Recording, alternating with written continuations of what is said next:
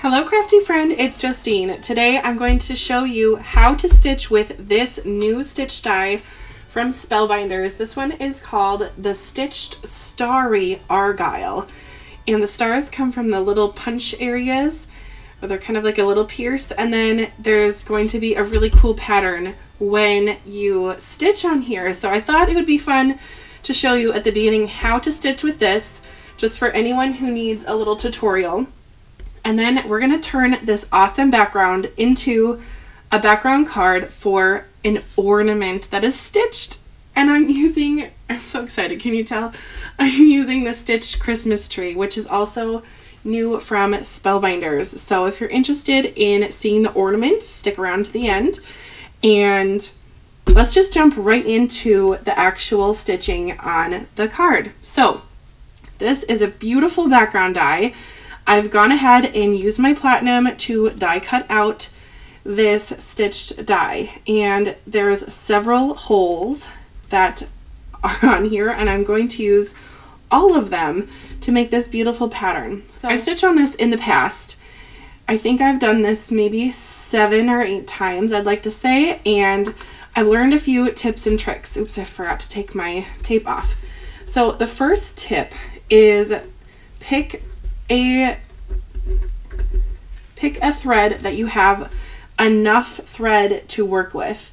This die definitely uses a lot more embroidery floss or thread than a typical die because it has these long stitched areas. So the the stitching is going to go about I don't know in inches, but if I had to estimate, it would be more than the average stitching die. So make sure to pick a color that you have enough thread in before you start. And I like to use two different colors. So the first color is going to be closer to the background. So your second color is going to be on top of that second color, on top of the first color. So whatever you want your more prominent color to be, have that be your second stitched color. The more prominent one, do second the less prominent one, do first. So I'm going to go ahead and start with this gold color. I'm using two different DMC flosses today. I'm using 783 and then 498. And this one makes my heart happy when I look at it because that's my grandma's handwriting and it was just her, it would have been her birthday. Let's see.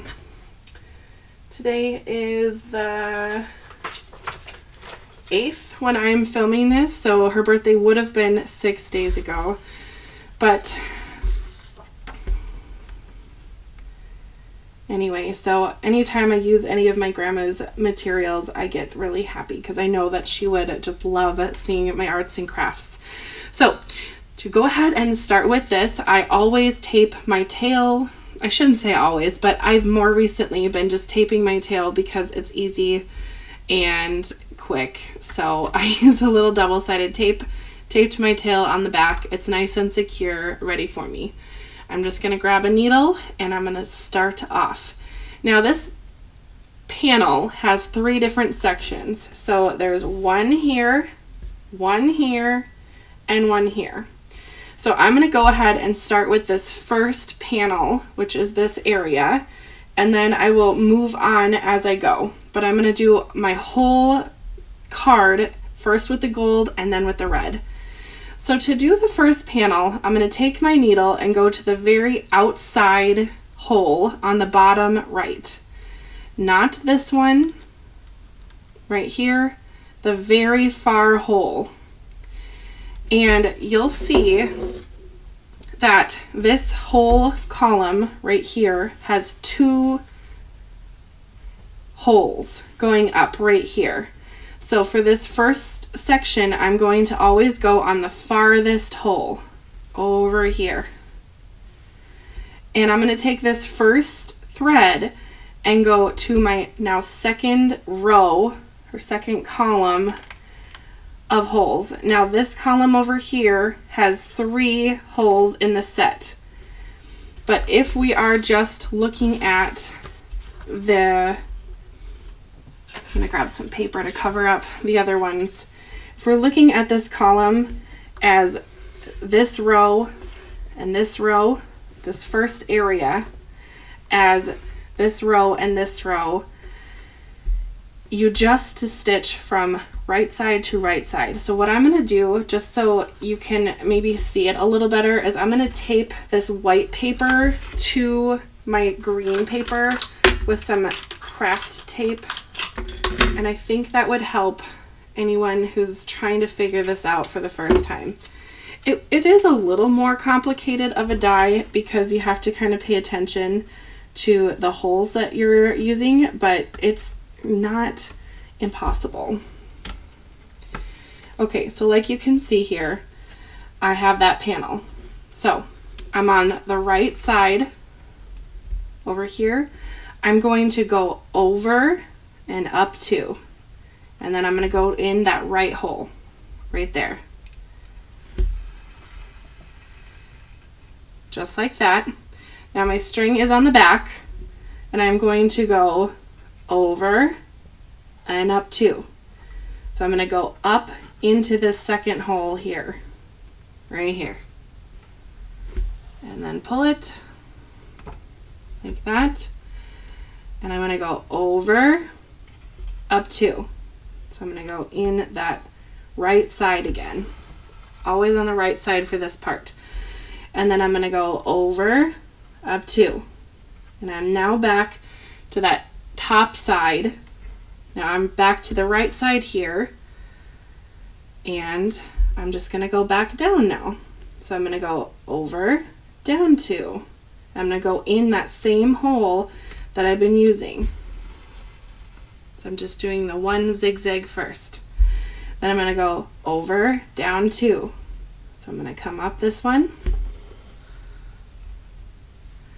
go over, down two, right into that, and that makes my zigzag. Then I'm going to go and next I'm going to go over, down two, but now I'm not going to come up this side because that zigzag's already done. I'm going to now go into the next hole, which is now going to be the left side of this column. And it's going to be the left side of this column. So I'm going to go in that big hole there, right about there, and it should line up with that first zigzag. We should have a little track here going. So again, over, up to, that would put me right here. Over, up to, that would put me here. See how it's starting to make the track? Over, up to. I'm at the top now. Just gonna pull it tight since it seems to get Things are a little loose here. There we go.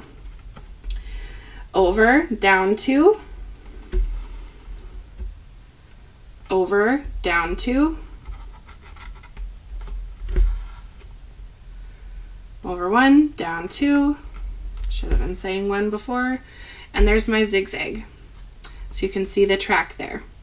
Now I'm going to do the exact same thing on this column, this first right side column, but I'm going to go the opposite direction. So now I'm going to use the left side columns over here. I'm going to go outside in. So up this big hole on the bottom, I'm going to go over two, up two, over, go over and up, and it should cross over. Then I'm going to go, sorry I bumped the camera, over and up two. And I'm going to stay on that left side. Over and up two.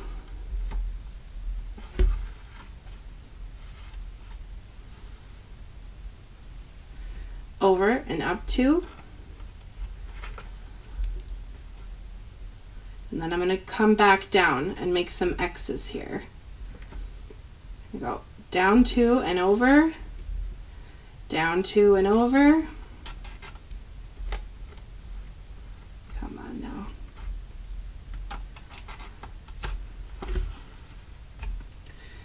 Down two and over.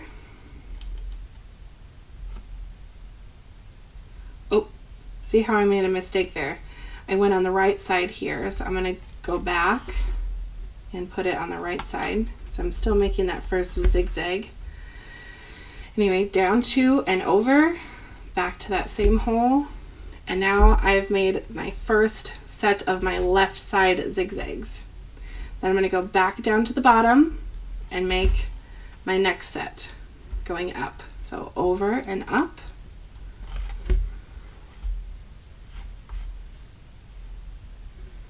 Over and up. Over and up. Over and up. Now I'm at the top. I'm going to go back down. Hopefully I have enough thread to get back to the bottom. I think we'll maybe be lucky if we can do that. Anyway, go down two and over. Ooh, this is making those X's. Isn't that pretty? Down two and over. Down two and over. Huh, I did it. I made my string work. Now, I am done with this gold thread for the first side. So I'm going to go ahead and tape off my tail. This is not long enough to really work with my next area. To tape it off, I'm just using craft tape. I'm just using that double-sided tape again and giving it a little snip. So there's that first panel. Now I will try the red, which will show you how I go back the other way. And then hopefully by that point you'll have an idea of kind of how it goes. And then I will finish the rest of the card if you need to keep watching. If you need to keep watching the stitching, please don't worry about it. It's not a big deal. It, it is a little more complicated than an average die. But if you're interested in seeing the ornament, you can always go ahead and skip to that part. But for those of you who either like hanging out with me or just want to um, see the the stitching one more time or see this red area now because this is a little different than the gold. You can go ahead and stick around. All right the red follows a different path because it has these little holes in the center. So now the red has this other column. So I like to start on the very bottom, again on the right. I don't know why, but I just do. So I'm going to go ahead and start on the bottom right hole. So there's one, a left hole and a right hole. So I'm going to now go over to this right hole.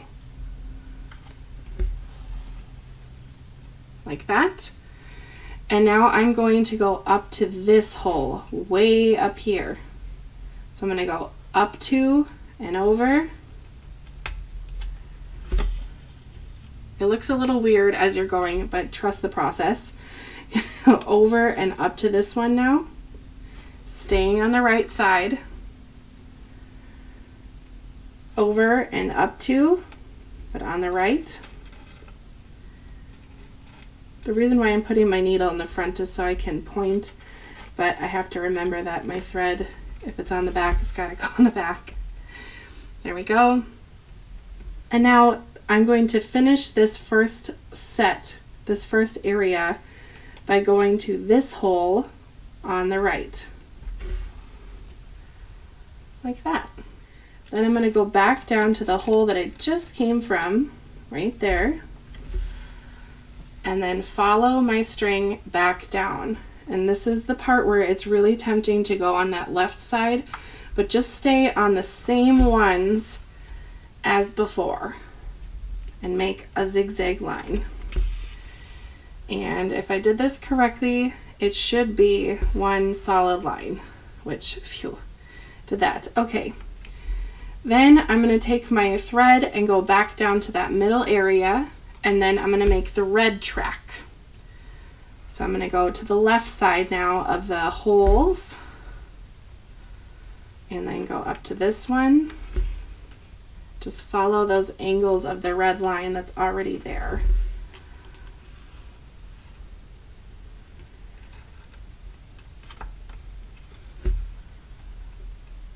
I think if I had to give this stitching die a level, I'd say this is probably intermediate to advanced just because it is a lot of zigging and zagging and a lot of crisscrossing.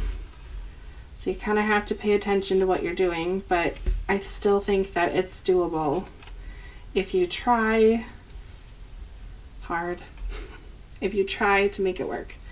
Okay, now that's my first red track. There's going to be another one. So for the red, because this is this the second this is the primary color, it's going to go on top and it uses these middle holes on the top and the bottom. So we're going to go on those two times. So now I'm going to go up that first hole that I went in again. And now I'm going to go on this side over here. Stay on the right since that's the first hole I went up. And go over here. And make my opposite red zigzag and just follow that all the way up to the top, right up to there, and then I can take my string and go back down and get a third red line. And I think my thread is going to run out, so I'm to have to grab a little bit more and finish off my first panel here. Just quickly tape it. Now that I have my next thread, I'm going to go ahead and finish my second red zigzag, which would be my fourth red line. Going in the left side now and just following my other red all the way up. Just filling in the rest of the holes that have not been used. And then meeting at the top and zigging my way back down.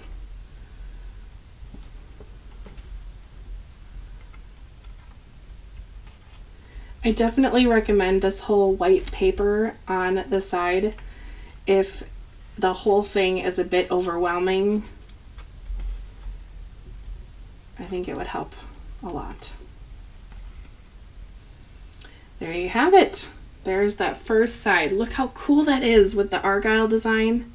This is a perfect one to pair with ornaments because just alone the background could be a gorgeous card. You could just have the card be just the background stitching and that could be a whole finished card. You could add a little glimmered sentiment, a stamp sentiment. You could add an ornament like I am. It's kind of all up to you. So now I'm going to move my panel over and go ahead and finish the rest of this card. I will put a video timestamp on the screen. So if you're not interested in watching me finish the stitching, you can go ahead and skip to the ornament part. I'm thinking that it would be most helpful to people if I left the rest of the stitching in real time and not speed it up. So I think what I'm going to do is just let it play and probably add a little background music just because it might be a bit of a chat because I've already been filming for about 15 20 minutes and um, I'm not even close to being done with this card so this might be a long one but it's kind of worth it's worth it to me if this helps someone figure out how to use this die because it's so cool and I don't want it to intimidate you from not using it because you can do it. I promise you can do it.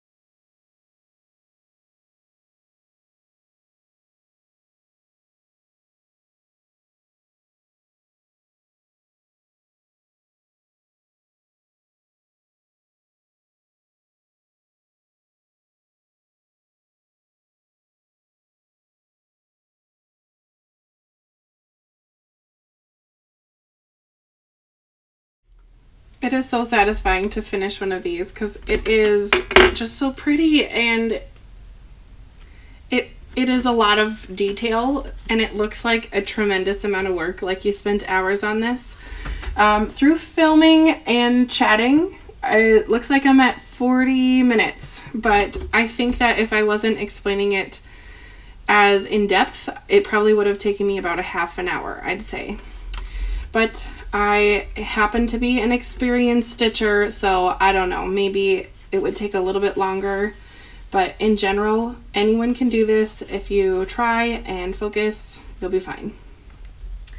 Okay, to add this to my card base, I'm going to use liquid glue. I'm really going to focus on the edges because this die definitely has a little bit of bulk with all of the stitching, especially on the back.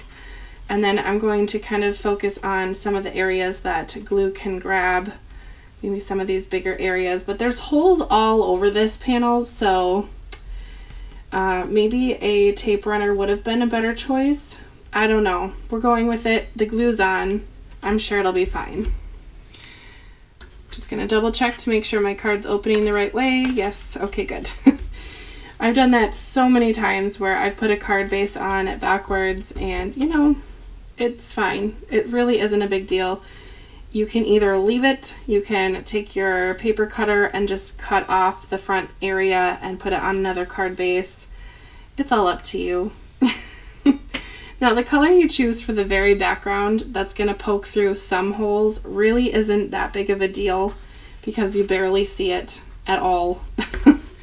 so I'll just mention that, but it definitely shows a little bit, especially through the bigger holes. Now this is my favorite part is making the ornament section. So there you have it. There's the stitched argyle. I guess it's called stitched starry argyle. There's another argyle die that Spellbinders has. So if argyles are your thing, check that other die out too. But let's make the ornament. Gorgeous. Okay, so this little stitch tree was part of the Christmas stitching or Stitch for Christmas this year. It has these dies. So I went ahead and used this die and this one to make the tree. That's the darker green paper there. And then to make the bright green, I used this die, which is creating the outline for all the loops. I went ahead and stitched this.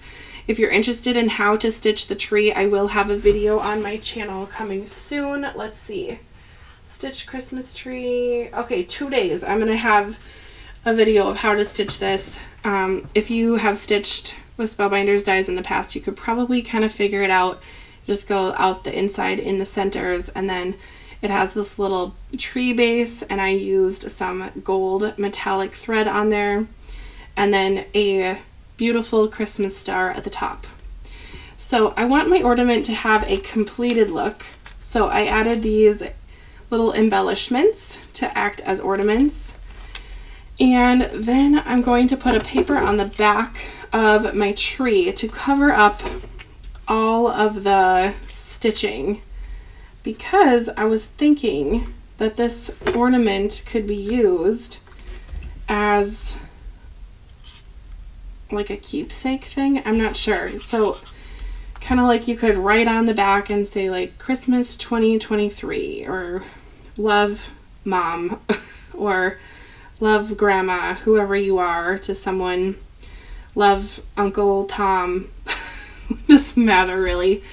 Um, just have just have a smooth place to write on it, and it also covers up the back of the stitching. So this liquid glue is going to be my very good friend here and just help get everything stuck down. But this tree is a really quick to stitch and you could certainly do this with other stitch dies as well and just make your own little ornaments. I think one day it would be so cool to have a whole Christmas tree or maybe like even a mini Christmas tree of all stitching ornaments. I think that would be like a dream, just a dream. But, you know, we'll see one day. Okay, I'm going to hit all the big areas and just get that glue on there. And then I'm going to top it off with the star. last because I want that to be visible, but this little stump can kind of get hidden.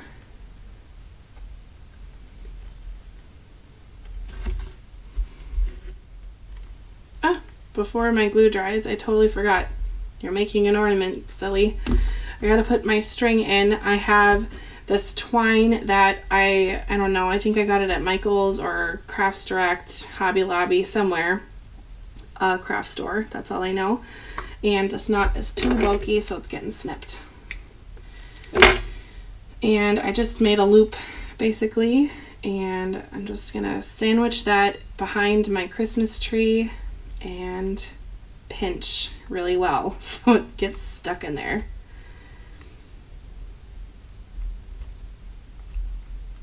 like that. And then I get to put the star on and that and then the ornament is complete. And I'll show you how I put it on my card so it acts as a decoration but also a removable ornament. So you can give this to someone and then they can take the ornament off of the card and put it on a Christmas tree. I know, crazy, isn't it? Okay, I really like that this is feeling really secure in there which is a good sign.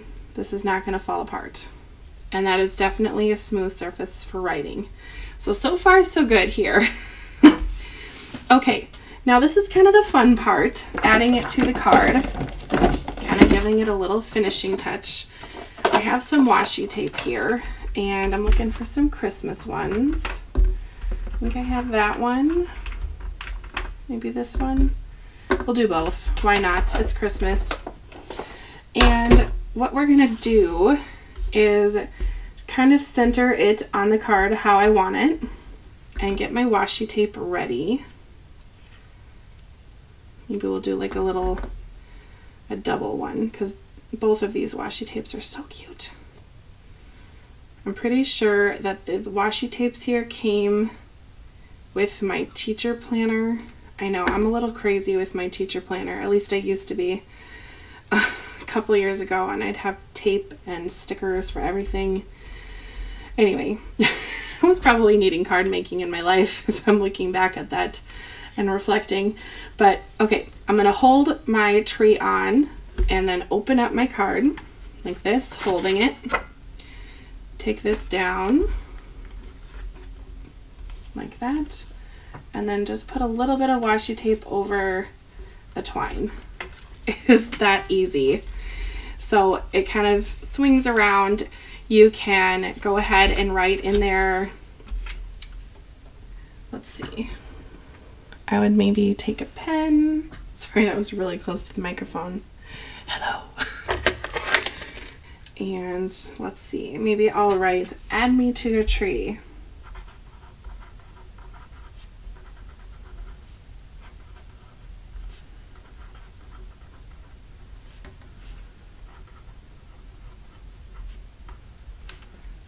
and then a cute little arrow. That way the person knows you can take it off and ta-da! And then when they take it off, that's still a gorgeous card. So if they're putting this card on display, I know a lot of people display their Christmas cards. They can still do that. Enjoy your sweet message inside.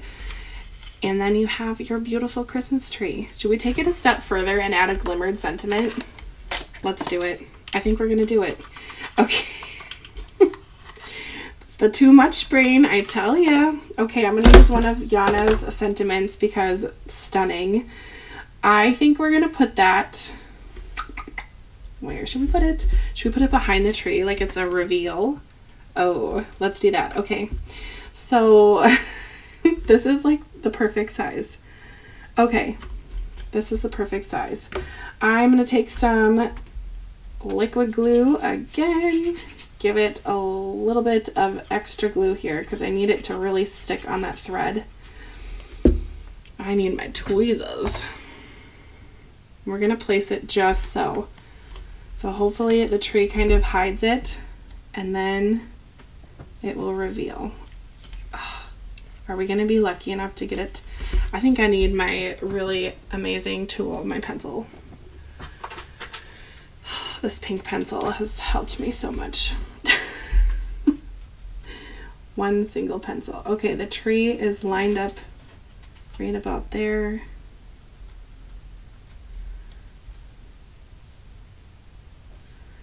Okay, so that's that second row. And then we'll just center it with the middle column. Okay, wish me luck, people. Second row, middle column. I felt like, I feel like there is probably a better way to do that, but I did it. Let's see if it lines up. Cross our fingers. I'm gonna pull it down just a little. Awesome, it did not. Okay, we're gonna go up a little bit higher. Okay. Please work. okay, now that the tree is secure again, oh, we have it. Okay, so there it is. Oh, lovely, a beautiful tree. Bam! Glimmer sentiment. now you can take it off and you have a lovely Christmas card and a Christmas ornament. It's been a long one, so I hope you've enjoyed. If you're interested in knowing how I stitched this tree, come back in two days. I am going to just go a little bit even more be above and beyond and add a glimmer sentiment to the inside of the card because we're just making this quite the project.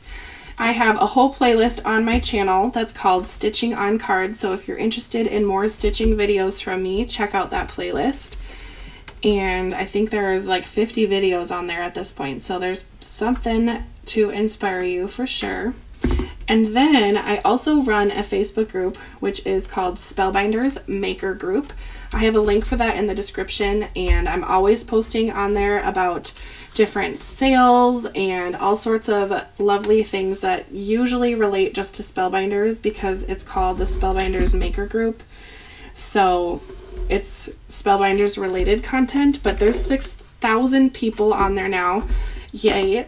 And there's tons of inspiration on there for you. And I know people are going to be loving these stitching dies. So go ahead and join the group and go ahead and share your beautiful creations on there. I want to see what you are making. So please do that and I hope that you subscribe to my YouTube channel here and and you can come back. I think I have a video going up every day this week. Tomorrow is a stitch die with Simon's dogs. So cool. And then like I said 2 days from now Christmas tree. So, we'll see you next time. I hope I hope you get to craft and stitch soon. Bye-bye.